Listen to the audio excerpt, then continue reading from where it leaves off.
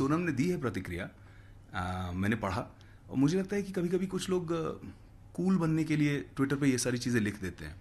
मैं पूछना चाहूँगा सोनम से कि उन्होंने महिला सशक्तिकरण के ऊपर कितना काम किया है? वुमेन एम्पावरमेंट पे हाउ मच है सोनम वर्कड पिछले दस साल में तकरीबन 2200 बच्चियों को हमने चाइल्ड प्रोस्टिट्यूशन से फोर्स्ड लेबर से रेस्क्यू किया है। रेस्क्यू करके इनको free education free health care free food देकर एम्पावर किया है, सशक्त किया है।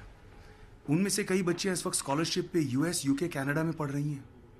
मुझे लगता है कि मैंने ये काम किया है और ये वेल डॉक्यूमेंटेड है। फोर्ब्स वगैरह ने भी छापा है, इसको इंटरनेशनल मैगजीन ने भी छापा है। मैं महिला सशक्तिकरण पे विमेन एम्पावरमेंट में तब से काम कर रहा हूँ, दस साल पहले, जब सोनम कपूर अपने मेकओवर पे काम कर रही थी। तो मैं इतना ही कहना चाहूँगा सोनम को कि आप बहुत अच्छी लड़की हैं।